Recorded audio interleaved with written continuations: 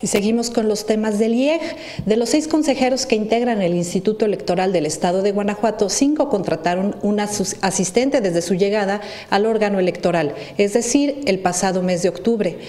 Con contratos temporales, los consejeros Luis Miguel Rionda, Yari Zapata, Indira Rodríguez, María Dolores López y René Palomares tuvieron asistentes que ganaban 15 mil pesos mensuales brutos.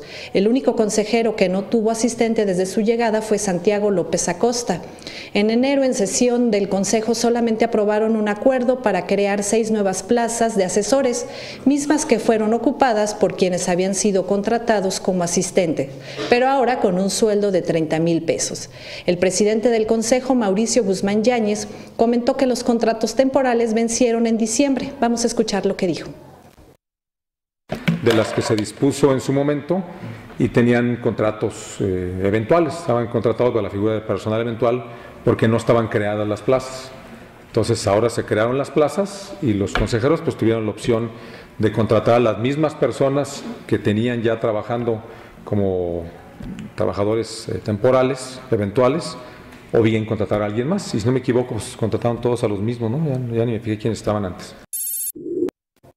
De los cinco consejeros que ya tenían asistente, cuatro lo conservaron ahora con plaza. La única consejera que contrató a otra persona fue Dolores López. El todavía secretario ejecutivo del IEG, Eduardo García Barrón, comentó que los contratos temporales estaban presupuestados para el 2014. Esto fue lo que dijo. En julio-agosto de 2014 el Consejo aprobó la plantilla de personal eventual que iba a apoyar el proceso electoral que comenzó ya desde, 2014. En esta plantilla que aprobó el Consejo eh, estaban establecidas creo que 13, 14 figuras de asistentes, de las cuales no utilizamos alrededor de 7, 8 posiciones. ¿Por qué no las utilizamos? Porque estas posiciones de asistentes estaban originalmente pensadas para apoyar el trabajo de reclutamiento y selección de personal en los municipios que implicaba eh, la selección de los capacitadores electorales. Es decir, en otros procesos electorales teníamos un número aproximado de 4.500 aspirantes a capacitadores y contratábamos alrededor de 1.000, 1.100.